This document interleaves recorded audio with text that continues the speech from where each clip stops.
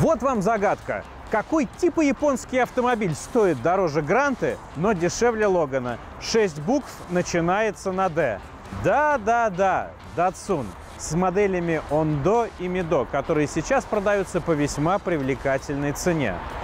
Но стоит ли покупать такой автомобиль или привычная всем «Лада» будет более правильной покупкой? Вот об этом сегодня и поговорим. С вами Петр Баканов и программа «Подержанные автомобили».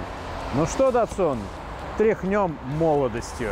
Возрожденная марка Datsun вышла на мировой рынок, используя бизнес-формулу «глобальный бренд, локальный продукт». В России таким локальным продуктом оказались седан Datsun Ondo и хэтчбэк Mido. Эти модели созданы на основе вазовской Гранты и Калины. Четырехдверный Ondo встал на конвейер летом 2014 года, а пятидверный Mido на полгода позже, в феврале 2015. С ценами на поддержанные экземпляры полный порядок. Самые старые экземпляры продаются за 200-250 тысяч рублей, а машины, которым всего 1-2 года, могут стоить 500-600 тысяч, что тоже выгодно. Самый главный вопрос, а чем Datsun вообще отличается от Лады? Тем более, что собирают машины на одном конвейере. Этой теме, пожалуй, стоит посвятить отдельную главу нашего рассказа. Первое и самое главное отличие во внешности. В частности, седан получил другие задние стойки кузова. У исходной Гранты врезаны маленькие окошки, а у Datsun таких нет. Вдобавок, японская модель российского происхождения отличается более длинным задним свесом. Благодаря такой трансформации Ондо готов похвастаться огромным багажником. Объем трюма составляет рекордные 530 литров. Также у Датсуна в салоне появилась иная передняя панель и другие доработки. Например, оригинальная комбинация приборов. К слову, сами приборы выглядят намного лучше, чем на машинах моложе осени 2017 года, как в нашем случае. У современных автомобилей жидкокристаллический дисплей выполнен на темном фоне. Благодаря модернизированным замкам и новым ограничителям двери открываются мягче. Но когда их закрываешь, внутри стоит такой же звук, как из консервной банки.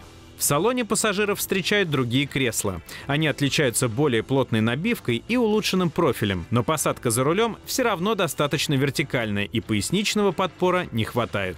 Зато создатели Датсуна поработали над улучшением шумоизоляции. На днище кузова, колесных арках, крышке капота и моторном щите уложены более толстые ковры. Кроме того, технологические отверстия закрыты заглушками, а сопряжение деталей под передней панелью проложены матерчатыми и резиновыми уплотнителями. Стенки багажника обшиты шумоизоляционными матами. Продолжает перечень доработок мягкий сельфон выпускной системы, а также переработанные кронштейны глушителя. Последние закреплены к лонжеронам, а не к полу, что заметно снижает вибрации, передающиеся на кузов. Обе модели Datsun построены на унифицированном шасси, которое отличает тросовый привод механической коробки передач, короткий реечный рулевой механизм и электроусилители рулевого управления. Кстати, в отличие от Grand и Калин, на Ондо и Мидо используются только безредукторные электроусилители. Их особенность – это электромотор, который установлен непосредственно на рулевом валу без промежуточного редуктора. Чтобы педаль тормоза стала информативнее, был внедрен другой вакуумный усилитель фирмы ТРВ. Но даже на новых машинах дозировать усилия не просто, равно как и на новых грантах. То наоборот перетормозишь, то либо не дожмешь. В общем, такова особенность этих машин. Но благодаря другим тормозным колодкам искоренен вазовский недуг в виде писка передних механизмов при торможении. Между прочим, некоторые из этих нововведений АвтоВАЗ затем внедрил и на свои модели, но далеко не все. Так что Datsun настолько же лучше, насколько и дороже. Отметим, что большинство гарантийных случаев, на удивление, касаются всевозможных шумов. Так инженерам пришлось лечить стуки, которые возникали при перекладке колодок, а смена смазки сайлент-блоков переднего стабилизатора избавила машины от характерного скрипа. В 2016 году, после массовых жалоб на свист со стороны глушителя, производитель был вынужден сменить в состав его набивки. Если при включении климатической установки машина начинает издавать посторонние звуки, это не обязательно предрекает сложный дорогой ремонт. У машин первого года выпуска тракторное трахтение под капотом признано нормальным явлением. Источником удивительного шума были признаны трубки кондиционера. Так что, если машина 2014 года издает странные звуки, купите специальную трубку, которая оборудована микроглушителем. Слову, дилеры марки до сих пор готовы бесплатно устранить оплошность производителя. А вот скрипящим шаровым опорам, к которым придираются владельцы, боссы марки пока должного внимания не уделили. Теперь о кузове. На него дается шестилетняя гарантия от сквозной коррозии. Вот только ждать кардинальных отличий от Гранта и Калины не приходится. И он до и Медо прогрунтованы и окрашены теми же составами, что и Лады. Качество металла и технология окраски аналогичны вазовским. А это значит, что машину надо тщательно беречь от сколов и царапин. А скрытые полости неплохо было бы обработать антикором. Как говорится, лишним не будет. Вообще считается, что самые качественные экземпляры моложе 2016 года включительно. Это можно заметить даже по внешнему виду. Инженеры поработали над уменьшением зазоров и качеством прилегания деталей. К салону, учитывая ценовую категорию модели, претензий минимум. Но если сравнивать Ладу и Датсун одного года выпуска, последний будет отличаться меньшим поголовьев интерьерных сверчков. Хотя абсолютной тишины от поддержанного псевдояпонца ждать тоже не стоит, как и выдающейся долговечности деталей интерьера. А уж штатную мультимедию подавно принято менять на устройство сторонних производителей. Новые прошивки выходят чуть ли не каждую неделю, однако это устройство далеко от идеала. Например, на ряде машин у него зависает голова так, что ни на что не реагирует. У других машин может отказать Bluetooth, например, не подключать к телефону. Самый простой способ оживить данную систему – это снять минусовую клемму аккумуляторной батареи. Обидно также и то, что богатырским здоровьем не отличается дорогой блок системы микроклимата. Плюс часто выходят из строя электромотор и трапеция стеклоочистителей, а вот генераторы и стартеры стали качественнее, чем 7-8 лет тому назад, но они тоже далеки от идеала. Теперь перейдем к моторам. Японские инженеры назвали наш восьмиклапанник 1.6 самым гармоничным вазовским мотором и по надежности, и по характеристикам. У начальной версии седана Ондо он выдает 82 лошадиные силы, у всех остальных 87. С болячками здесь все просто. Главная проблема этого мотора – регулярные течи масла, которые сочатся в основном из-под клапанной крышки. Вылечить недуг довольно просто, но большинство владельцев предпочитает просто доливать масло. Все остальные болезни рядной четверки лечатся тоже простыми методами. А самая дорогая неисправность – внезапная кончина штатного электронного блока управления марки Ителма. Хотя сейчас есть мастера, которые их ремонтируют. Встречается заблуждение, что восьмиклапанные двигатели ВАЗ-11186 имеют безвтыковую конструкцию. Но это не так. При обрыве ремня газораспределительного механизма загибаются клапаны и разрушаются поршни, поэтому состояние ремня роликов и помпы должно быть безупречным. При особом желании можно установить поршни со специальными цыковками. С ними обрыв ремня не грозит здоровью агрегата. Также многие ошибочно считают, что этот двигатель оборудован гидрокомпенсаторами. На самом деле компенсаторов здесь нет, и клапаны требуют регулярной регулировки. Если этого не делать, то тысяч через 30-50 они прогорят. А вот превентивная замена термостатов, катушек и свечей зажигания теперь не актуальна. Видимо, поставщики АвтоВАЗа стали гнать меньше брака, поэтому их изделия и служат заметно дольше. С осени 2017 года на автомобиле Datsun начали устанавливать мотор ВАЗ-21127. Это хорошо известный всем агрегат, которыми комплектовались Приоры, Калины и Гранты. При рабочем объеме 1.6 ВАЗовский 16-клапанник выдает 106 лошадиных сил. Для данного агрегата инженеры Datsun написали новые прошивки блоков управления. За счет этого ездовые повадки оказались более гармоничными. А еще муфта включения кондиционера отключается при интенсивном разгоне. А включается она только спустя 3 секунды после сброса газа. К тому же вентилятор системы охлаждения теперь включается раньше и отключается позже, что обеспечивает дополнительную защиту от перегрева.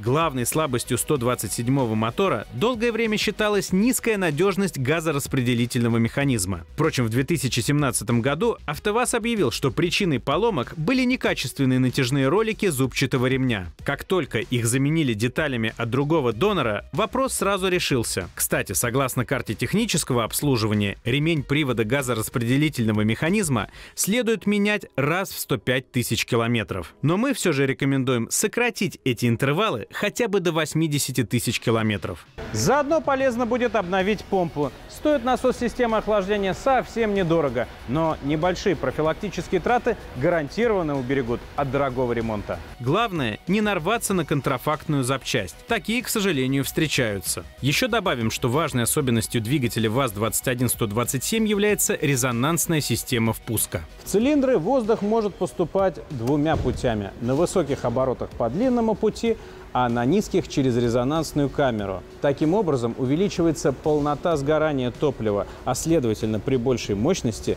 возрастает экономичность. Но никакими особенными проблемами такая система не грозит. А еще инженеры отказались от датчика массового расхода воздуха. Вместо него использовано сочетание датчиков абсолютного давления и температуры воздуха. И это гораздо лучше, чем ДМРВ. По крайней мере, плавающие обороты перестали быть фирменной слабостью модели. Диагностика этого двигателя крайне проста. Если мотор начал троить, значит нужно менять свечи или промывать форсунки. Стуки со стороны силового агрегата намекнут на скорую замену гидрокомпенсаторов. В общем, обслуживать и ремонтировать моторы датсунов смогут буквально везде. Плюс ресурс у агрегатов не меньше 200 тысяч километров пробега. И мелких пакостей вроде отказывающих датчиков и термостатов становится все меньше и меньше. Теперь перейдем к трансмиссии. В 2013 году вазовские коробки передач претерпели серьезную модернизацию, получив японский тросовый привод и радикально переработанную конструкцию. Старой осталась только редукторная часть. Вдобавок, в 2016 году АвтоВАЗ изменил профиль зубьев второй и главной передач. Это было сделано для того, чтобы избавить агрегат от характерных завываний. Отсюда вывод. Чем более свежим будет автомобиль, тем меньше он будет издавать трансмиссионных шумов. Итог этих модернизаций. Трансмиссию полностью вылечили от врожденных болезней. Так что ни износа синхронизаторов, ни течи масла, которыми досаждали восьмерки и десятки, ждать не приходится. Ходят нынешние пятиступки долго, а когда понадобится ремонт, переборка совершенно точно не будет разорительной. В конце концов, новую коробку передач можно купить за 30-40 тысяч рублей. Сцепление держится под 100 тысяч километров. Менять лучше на комплект марки Valio, который стоит около 4000 рублей. Точно такой же ставится и на конвейере, хотя продавцы наверняка вам предложат и более доступные аналоги. Надежен и четырехдиапазонный автомат японской фирмы Джатка. Нормативным сроком службы автомата считаются 10 лет, но наверняка эта коробка легко прослужит дольше. Главное – это сменить масло через первые 80 тысяч километров, а затем через каждые 60 тысяч повторять данную процедуру, пускай даже производитель не считает масляный сервис обязательным мероприятием. Претензии к этому автомату – редкий случай. Так зафиксированы единичные случаи ударного переключения передач, но вопрос решился простым обновлением прошивки. Плюс встречались ситуации, когда коробка переходила в аварийный режим, но такое тоже случается нечасто. Слабое место данного агрегата – это откровенно неудачное расположение электронного блока управления коробкой, который располагается вот примерно здесь, за этим левым передним подкрылком, вот за этим лючком. Если крышка потеряется, то электроника будет страдать от грязи и влаги, которая будет попадать внутрь. Опять же, нужно следить за наличием данной крышки. Если она потеряется, то придется покупать весь левый подкрылок целиком. Ну и также любой маломальский серьезный удар в эту часть автомобиля, и машина будет обездвижена. Хотя новый стоит меньше тысячи рублей. Что касается ходовой части, то для датсунов лучше покупать оригинальные детали вместо грантовских запчастей. Так, газонаполненные амортизаторы были специально разработаны заводом СААЗ для японской марки. Также этим автомобилям полагаются усиленные стабилизаторы поперечной устойчивости и оригинальные пружины. А если автомобиль еще не успел стоптать комплект оригинальных колес, им полагаются шины Pirelli Cinturato P1, который ставится на конвейере. К надежности подвески претензий быть не должно. Она простая и крепкая. Если, конечно, не экономить на запчастях. А уж энергоемкость выше всяких похвал. Так что чем-чем, а ходовой Datsun точно не разочарует. Но некоторые слабости все же есть. Например, задних ступичных подшипников обычно хватает на 50-60 тысяч километров. Благо стоит новый подшипник около 1000 рублей. Плюс огорчает недолговечность шаровых опор. Но опять же, новая деталь продается за скромные 200-300 рублей. Следовательно, поломки подвески точно не разорят владельца машины. Назвать Datsun иномаркой, конечно же, нельзя. Это добротный отечественный автомобиль, которому приложили умелые руки. А вот разительно ли отличается тольяттинский японец от исходной гранты, это уже большой вопрос. Но по надежности и дешевизне обслуживания он точно не уступит «Ладе». Это была программа «Поддержанные автомобили» и я ее ведущий Петр Баканов. И помните, главное сделать правильный выбор. Желаю удачи!